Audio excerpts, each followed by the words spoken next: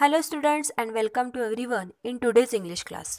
Today I am going to take a English poem 2.1 Invictus, one of the most beautiful poem written by William Ernest Henley. This poem was written down when he was hospitalized and was being treated for the tuberculosis of the bone that resulted in the amputation of leg below the knee. One of his leg was cut off that he was imputed, but even after facing so much of hardships, he did not give up. So it was during this time he did not cried. At that time he wrote this poem. ये poem से हमें message मिलता है this poem gives us a message it is all about showing courage in the face of death and of the will to survive with dignity in the face of severe hardships. इस poem में से हमें करेज का message मिलता है hardship का message मिलता है कि हमें हमारा करेज इकट्ठा करके कोई भी प्रॉब्लम को फेस करना है और पोएट थैंकफुल है अपने उसके सामने आने आने वाले वो सिचुएशन के लिए, वो थैंकफुल थैंकफुल है गॉड को, वो थैंकफुल है सिचुएशन को, वो थैंकफुल है खुद को, खुद के सोल को okay so this poem teach us lots of things and we have to imitate it और ये जो पोएट है विलियम अर्नेस्ट हेनली इन्होंने ये जो पोएम लिखी है, ऐसे सिचुएशन में लिखी है कि वो हॉस्पिटलाइज थे उन्हें बोन का ट्यूबरक्यूलोसिस हुआ था और उनके पैर पे सर्जरी भी हो गई थी। ऐसे सिचुएशन में उन्होंने ये पोएट पोएम लिखी है और हमारे लिए प्रेजेंट की है। ये पोएम जो है, वो 1857 में राइटर ने पोएट ने लिखी है और उस पब्लिश हुई है 1888 में। So students we are going to learn now beautiful poem written by William Ernest Henley 2.1 Invictus Out of the night that covers me, black as the pit, from pole to pole, I thank whatever gods may be for my unconquerable soul. In the fail clutch of circumstance, I have not winced nor cried aloud. Under the blood gungings of chance, my head is bloody but unbowed. Beyond this place of worth and tears looms but the horror of the shade, and yet the means of the ear finds and shall find me unaffared.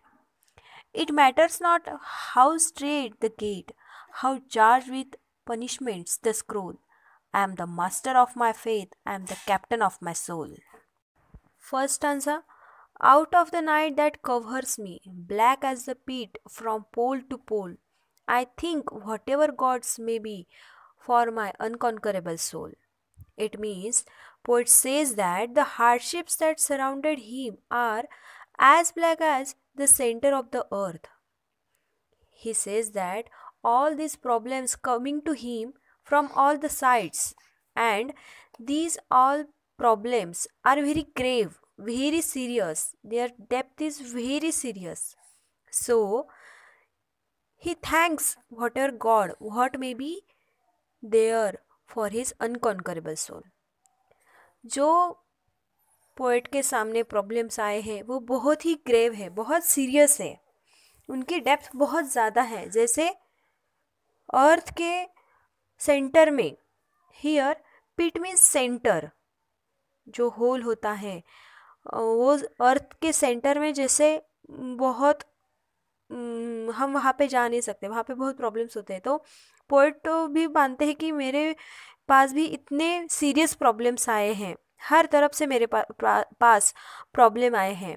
और लेकिन ये सब problem के लिए वो God को जो कोई भी गॉड है वो उसे थैंकफुल मानते हैं क्योंकि जो उनके पास अनबिटेबल सोल है उनकी जो unbeatable courage full of courage वाले जो सोल है आत्मा है करेजिव हार्ड है वो सब उन्हें पोएट को गॉड ने दिया है। उस, ये सब चीज़ों के लिए वो थैंकफुल बोलते हैं कि थैंक गॉड ये सब फेस करने के लिए मुझे क्या दी है? एक अनकॉन्करेबल सोल दिया है। अमेय, अजय, जिसे कोई भी नहीं हरा सकता, ऐसा सोल मेरे पास आपने दिया है। इस तरीके से वो फ़र्स्ट आंसर में अपने फीलिंग गॉड के प्रति एक्सप्रेस करते हैं और अपने सोल के प्रति भी वो एक्सप्रेस कर रहे हैं।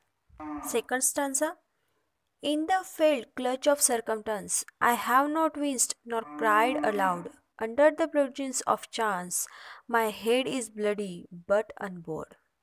In the second stanza, he says that though he was a victim of weak circumstance, he has neither reacted with pain nor, nor cried aloud. Though he is suffering under the violent beating of fate, his head is bloody but unbowed. He says us that whatever the circumstances are, he have never cried he had never cried out for that pain. And whatever the circumstances are, he find himself, he never made a single sound for pain or cry. इसमें poet हमें बता रहे हैं कि इतने उनके sides में problem है। सब तरह से प्रॉब्लम्स का इतना घेरा हुआ है। फिर भी उन्होंने जो उन्हें पेन हो रहा है, दर्द हो रहा है, उसके लिए उन्होंने अपने मुँह से उफ तक नहीं निकाला है। उनके हेड ब्लडी है, बहुत खून बह रहा है, लेकिन वो पूरी तरह से खुद को शांत रख रहे हैं और उसे फेस कर रहे हैं। और हम क्या कर देंगे? हम हार मान देंगे। अगर कोई भी प्रॉब्लम हमारे सामने आएँगी तो हम उसके सामने झुक जाएँगे। लेकिन पोएट बोल रहा है my head is bloody but unbowed भले ही मेरा हेड पूरे ब्लड से घेरा हुआ है, लेकिन वो झुका हुआ नहीं है प्रॉब्लम्स के सामने। I am facing all these problems here fail clutch. It means weak trapped. And winced means jerk with pain.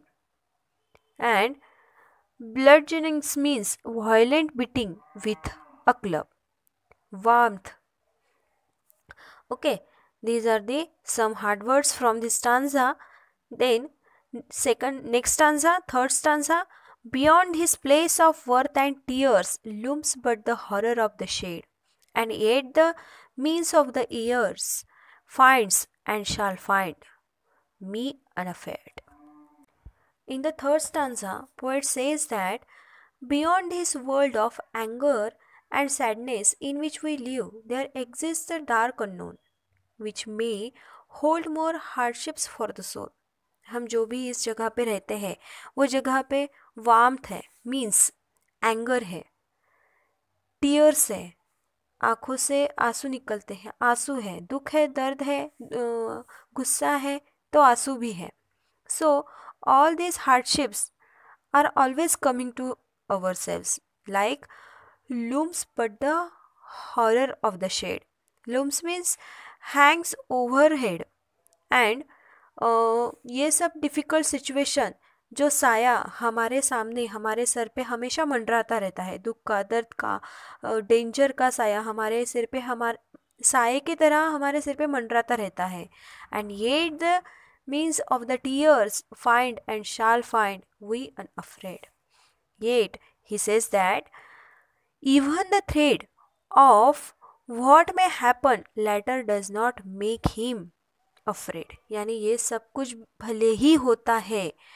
जो साया हमारे सर में, सर के ऊपर मंडराता रहता है, फिर भी ये सब मुझे घबरा नहीं सकता।